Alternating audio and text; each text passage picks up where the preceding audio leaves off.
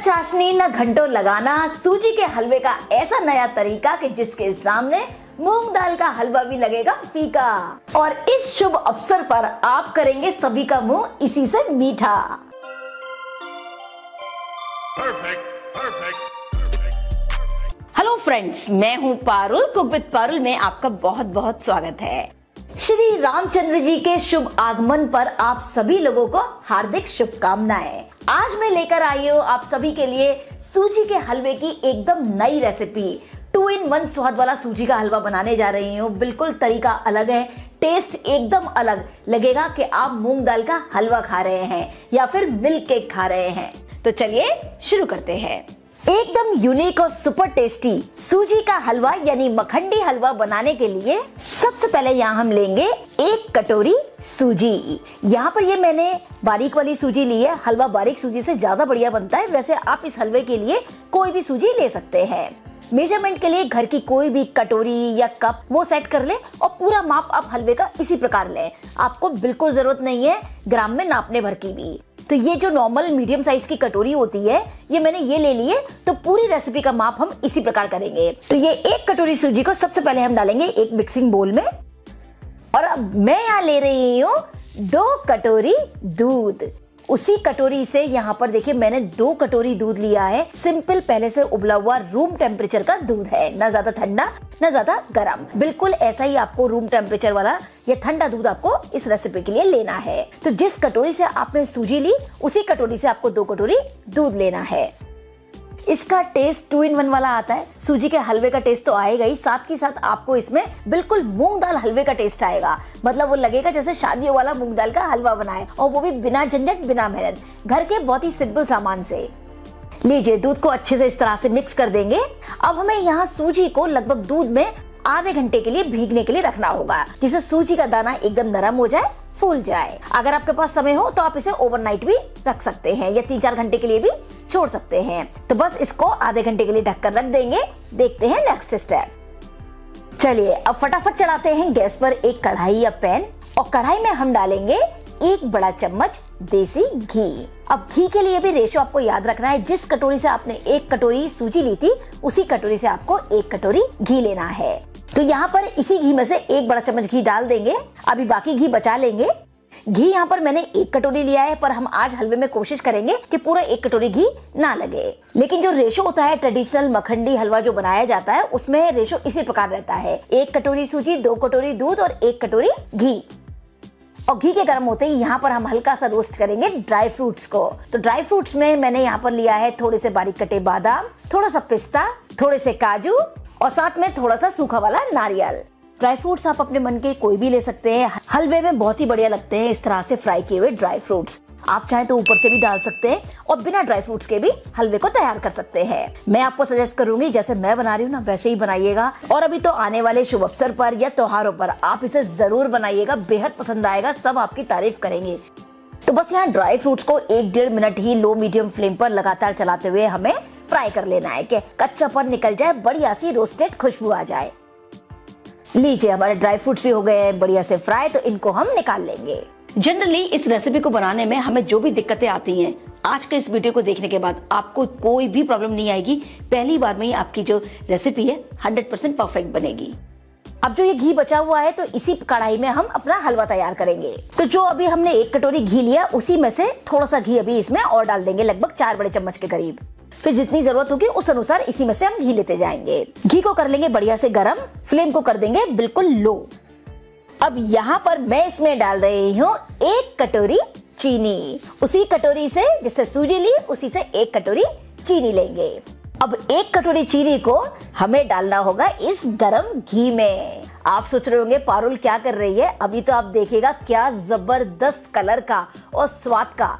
हलवा बनेगा मतलब taste texture flavour सब कुछ ऐसे कि सब खाते रह जाएँ। चीनी को यही घी में डाल देंगे और लगातार चलाते हुए बिल्कुल लो फ्लेम पर चीनी को पकाएँगे।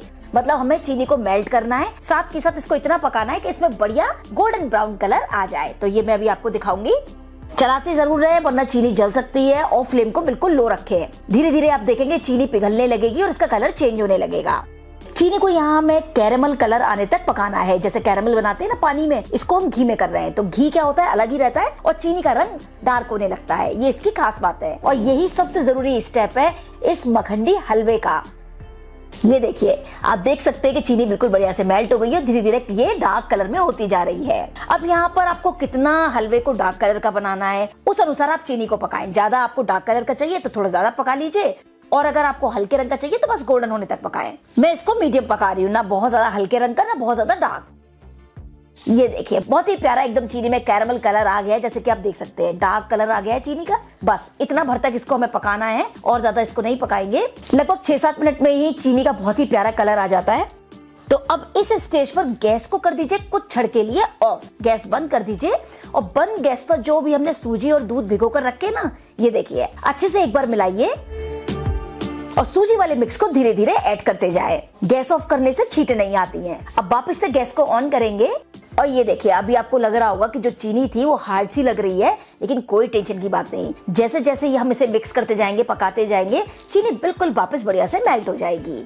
क्योंकि सूजी और दूध का मिक्स ठंडा था और चीनी थी बहुत ज़्यादा गर्म तो जब इसमें हमने डाला तो ये हल्की सी सख्त हो जाती है। पर वापस से फिर जब हम गैस ऑन करते हैं और मिलाते हैं तो ये वापस मेल्ट हो जाती है और लो फ्लेम पर बढ़िया से हलवे को पकाएँगे। जब तक कि जो इसमें दूध है, वो पूरी तरह से सूख ना जाए और ये जो हलवा है, वो घी ना छोड़ दे।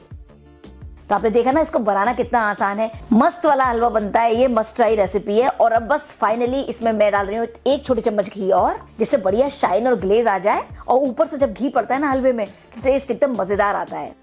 ये जो माखंडी हलवा है, ये स्पेशली काफ़ी अच्छे घी की मात्रा में इसे बनाया जाता है। तो इसका टेस्ट जैसे मैंने बताया, मूंग दाल हलवे और मिल्क केक का जो टेक्सचर और टेस्ट होता है कुछ कुछ वैसा आता है। और वो स्वाद मिलता है घी से। आप इसे वनस्पति घी में भी बना सकते हैं।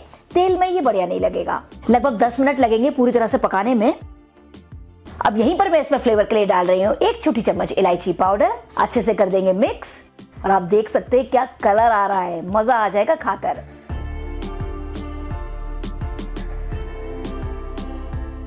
और ये देखिए, ये हमें कैसे पता चलेगा कि हमारा हलवा रेडी हुआ है या नहीं? जब आप इसे कच्ची से ऐसे उठा रहे हैं तो देखिए, फिसल रहा है। इसका मतलब हलवा बिल्कुल रेडी हो चुका है।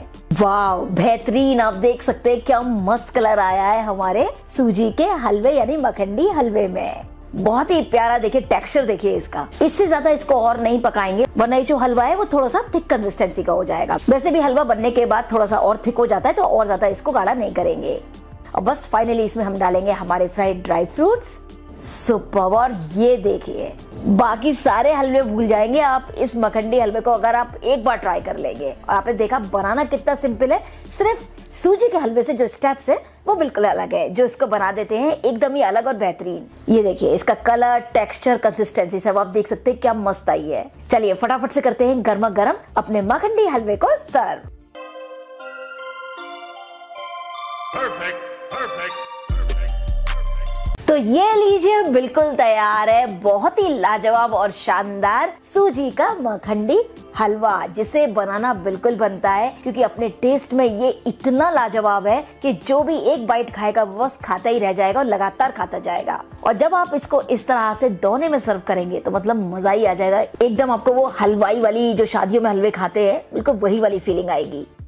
तो आने वाले किसी भी शुभ अवसर पर, त्योहारों पर आप इसे ज़रूर ज़रूर से बनाएँ। घर में ये सबको पसंद आएगा और जैसे कि आप इसकी कंसिस्टेंसी ही देख के लग रहा है कि बस मुँह में जाते ही घुल जाए। ऐसा वाला ये हलवा तैयार हुआ है और जो भी खाएगा, पहली बार में पहचान नहीं पाएगा कि आपने सूजी से तैयार किया है।